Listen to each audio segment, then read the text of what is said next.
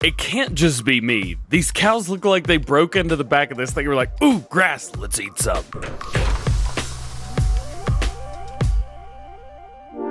What's going on everybody? DJ Goham here. Welcome back to the channel and welcome back to new mods for Farming Simulator 19. I couldn't find anything to put in the first shot, so we're looking at the sun.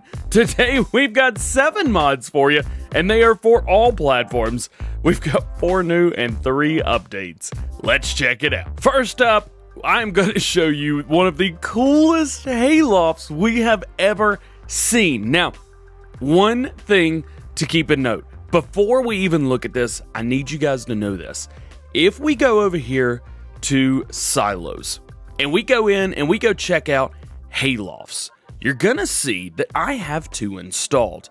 These haylofts, one of which was originally released, but then was taken off the mod hub very soon after. PC and console players, listen, if you downloaded this mod and you still have it installed, console players, if you download the new Hayloft, this old Hayloft will be overridden because it's showing up as an update because it has the exact same name. The reason it has the exact same name is because Giants don't support the Hayloft on the right anymore. They support the one on the left.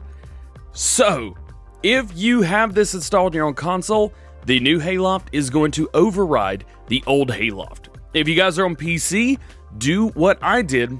Go in, just change the, the name of the, the mod. So I changed the one on the right instead of changing the one on the left since it's not supported. I just did like, you know, it's FS19 underscore Hayloft is what it's called. I just did another underscore and it said unsupported. And then that's exactly what I did. So if you're going to use the new one, just keep in mind, um, it all is within what, 10% of it. So it's kind of the same thing. Uh, it just doesn't hold 2.5 million liters, it holds 250,000 liters. So back at it. This thing's so cool. All right, so first off, every single door opens. All of them. Not just one, not just two, not just six. Actually, I don't know how many doors are on here. There's five doors. Actually, there are six. Because guess what? We're going to jump in here and we're going to take this up. Now, you may be wondering to yourself, DJ, I saw the picture of this and it's got all kinds of stuff on it. Like it's got stuff. Well, I'm to show you. Ooh. I don't know what's going on right there. There we go. We're to go up here and we are going to open this door too because you can. You may be saying, that doesn't make any sense. How in the world can we get up there? And, and what are we clipping on? Well, I'm going to go ahead and close that back. We're going to back this thing out of here. And I'm going to go ahead and close all the doors. Because this guy, this does an amazing, really cool magic trick. Not only is it a hayloft, not only is it a barn where you can park stuff, but this guy right here, if we turn on our help window and we go to this box, says mount the hay and straw balers. I want to mount them. The top doors open up. We get a side thing. Boop. We get the blower in there. We get the chute popped up. Man, that just happened. That's so cool. Oh my goodness. So now we can go in and we can fill up with straw and hay. Now this is where you're going to dump your straw and hay. So just right here, right on top of the blower or the sucker. I'm not really sure what you would call that thing. So we just dump, we're just going to dump it all out. Why not? There we go. Straw is dumped out. If we go in here, we see 13,250 liters of straw is in there. Same with hay. It'll work the exact same way with hay. And if we pull under here, pull under the chute, boop, and we get straw. And it fills it up. Not only does it fill it up, it fills it up really fast. Like, really fast. I like that. That's really cool. Now, that's how you do that. If I remove this, so we're going to go back over here, and you can actually remove this, just like that. Boop. And everything will close up and be done. If I jump back in here and I try to back in, I can't. I don't get any tip trigger. So it is completely reliant on you opening it up. So if you want to use this as a Hayloft, you can. If you just want to use it as a small barn, you can. Now, I wonder if we dump all the straw in here, what's going to happen if once we've dumped it all in here, if we stop it? So that's that. Good. Let's let's just put it all away. Boop, boop. And now it's all gone. Just like that. What happens if I'm like, okay, well, it's like that. Am I still showing? Yep, still showing 13,500. What happens if I pull under here? Nothing. Nothing happens. You can't get your straw out. You've got to enable the uh, the blower and the auger, or the uh, the nozzle, whatever you want to call it. How neat is that? That is one of the coolest things I've ever seen in my entire life. And we just, it's, it's so cool. You just back up. We get our straw back. That is, it's just one of the coolest mods we've ever gotten. Next up, we have the Workshop Garage. This right here is just a really big garage. However, I am seeing some some interesting things with it because it takes up a whole lot more room than it's actually using. So if I go up to this door right here, if we even turn on our help window, you can't open these doors at all. None of these open. And so if we go over here, that opens. This door opens. Is this door open? That door opens. We pull straight through. Boom, like that. We've got a garage, workshop in here. And it's cut off from the rest of the uh, garage. That's cool. That's great. I love that. And we go over here. We get a very nice sized garage as well here. Very cool. I dig that as well. However, this door looks the same and is the same size as these doors. Yet we can't open them. So I don't know if they just forgot to put the tip trigger in there or the, you know, the collision, whatever it is. Um, I will say these windows are completely blacked out. However, if we come over here, this window is completely open. So that may be a sign as well saying, hey, you know, that is what it is. I also have a door to nowhere up there. It's kind of funny. yeah, let's go up there. got your light right here. You can turn your light on, boom, like that. Uh, if we go over here, we get another light, a completely separate light. I believe. Go over here. Yep, completely separate. That's great. I like this. I just wish the other doors opened. Nonetheless, this is cool. Of course, this is going to be found in placeables and in sheds. Next up, we have the Pottinger Jumbo Combiline. This right here is an loading wagon. And loading wagon? A loading wagon. This is the one with the cows in the back that look like they broke in. They're like, you know what? I think we're just going to eat all this grass. Here, I'm going to walk over here. You walk over there. We're just going to eat all this grass together. That's what it looks like. I love it. I love that on the back. This right here comes in four different configurations and we're going to look at all of them. I love the fact that we're getting some extra loading wagons. Here it is, right here. We've got four. So we have the 6010, the 6610, 7210, and 110. This right here, the 6010, holds 33,800 liters. The next one up holds 37,300. The one up from that, 40,800. And the one up from that, 47,300 prices go accordingly. So let's check out the smallest one and see what our customization is. Not a whole lot going on here. Wheel brands, we have Trelleborg and Michelin. That is it. That's it. That's the only one. Again, moving on to the next one. Trelleborg and Michelin. Just wheel setups. That is it. Nothing else. Moving over to the next one, and this is the only one that has an extra option. So, of course, Trelleborg, Michelin, Design standard chassis.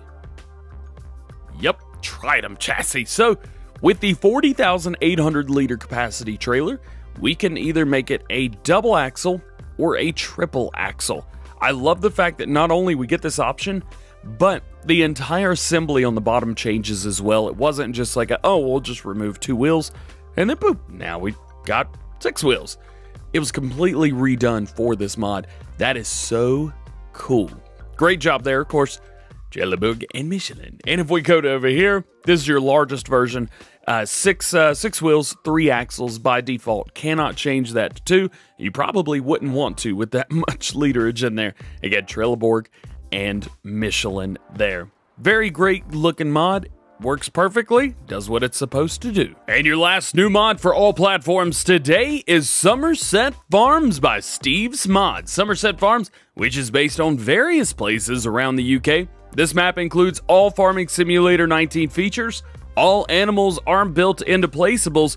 Please check before taking models from the map as Lancy Boy made a few of them and needs permission to use them. Full season support with grazing custom lighting, animated objects, custom soil textures, distance, grass, and ground textures, cow farm, pig farm, sheep farm, horses, chicken farm, two sell points, biogas, sawmill, dairy, Excel points, and more. Over 30 field, small, medium, and large, custom transport missions, and field missions as well. It does support the FPS distance mod, and please ask before using any of the models that are on this map. He hopes that you enjoy. So I know one thing right off the bat, some Xbox players are reporting that Seasons is not playing nicely with this. If you're having any issues with it, let me know. Or if you're having no issues, that's even better. Let me know down in the comment section below. Let's take a look at the map. So the map looks great. Buyables are, look to be every single field, at least mostly through here. Uh, if we go and we check and see, can we buy the outside of the map? That is a negative. However, we pretty much own all the little spots that you would need to own. So that's kind of nice. Um, so it looks like the entire area around the map, everything that's in blue right now, which is going to include your farm, that is actually doesn't include your farm. Your farm's right there. You don't even own your farm. Goodness gracious. Uh, everything around in blue, all the extra areas that you would consider the outside of the map. $694,000. You could probably sell that right off the bat and be just fine. We do get one field owned uh, when it's all said and done, you get Field 14. That is your chicken farm for $79,000. I will tell you, everything pretty good. This reminds me a lot of, um, oh goodness, uh, the old stream farm, Black Sheep Mining map, because it's small and it's just insanely detailed. Very cool. What do you get in New Farmer? What kind of vehicles do we get? We get a change up. Yo, I dig the starting vehicles. We get a New Holland T5, we get the John Deere 6M, we get the New Holland T7, New Holland TX32, we also get an AgriLiner TDK302, we get the header, plow, we get a direct drill, that is great right there. Uh, we also had a Dispine, so we get a mower, windrower, tedder, we get a round baler, we get front loaders, we've got weight, and we also get a water station and a large grain silo. That water station looks kind of familiar. Love it, man. I love it. As far as placeables, so it's said that the animals are built into the map. I want to go through here and see, are there any that we can see? Maybe we can buy the animals on this uh, map as well. It doesn't look like we can buy them. However, they are part of the map. Anyway, so that is good. Moving into updates, we've got an update to Holmakra, and it has completely changed the map. Not only that, we are in a big square box now. I'll explain. Ignore that for now. Ignore it. Stop listening to it. Just quit paying attention. Holmakra 2020 is a forestry and farming property set in southern Sweden. A detailed and diverse forest, seven fields now, areas for placeable buildings. Seasons is supported 100% Custom textures for seasons as well. Custom tree textures, over 30,000 trees to cut down. The DOF graphics has been removed to improve FPS and distance blurriness, and for the update changelog version 2, added farming, expanded the map, foliage textures, and a project Mecklenburg. We also have new tree textures and a few minor corrections as well, and farm buildings are from 20mm Normandy. A lot of people are using their buildings because, well, they're some of the best out there. Here's the issue. I have talked with T-Bone of North Modding Company, who is one of the modders for this, and he said, DJ, the wrong version was uploaded, uh, or the wrong version was released, rather. So with this one, don't go over the edge because you can clip. Also, the map borders are visible. So here's what I'm going to do. Yeah, we're going to run off this side of the map just to see what happens. I'm sorry, T-Bone. I love you, brother. We're to run off. Um, I had mentioned to him, I was like, so pretty much tell people, I had asked him what he wanted me to say. And I was like, so pretty much tell people uh, the world is flat and don't go towards the side or you'll fall off. He's like, yeah, pretty much. So we're to give it a try and see what happens when we get too close. Now, of course, uh, I've been made aware that probably this is going to change tomorrow. So keep in mind, we're probably going to get an update tomorrow for this. So just be aware. Hopefully, it does release. So let's see what happens. Don't go towards the side.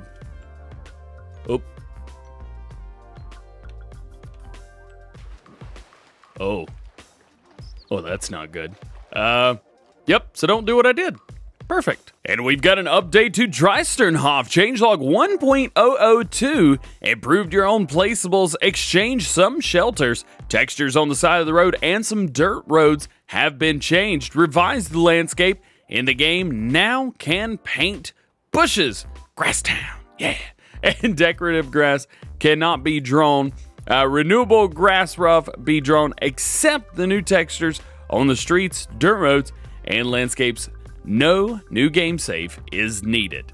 So there you go. Very cool. Great update. And lastly, today we've got an update to Charwell. Changelog lights have been added to the farms. FPS issues in the farmhouse have been fixed. Fields and train have been fixed. And the gates have been fixed. So thank you guys for reporting any issues and stuff like that over to Lancey Boy. He has now popped out an update for us. And we are all set and ready to go. Well, guys, that is going to be it for today. I hope you've enjoyed. If you did, make sure you drop a like on the video, get subscribed to the channel, Go FM, and turn your notification bells on if you haven't already so that you never miss a new mod video here on the channel. That being said, hope you have a great day, and we will see you later. Peace!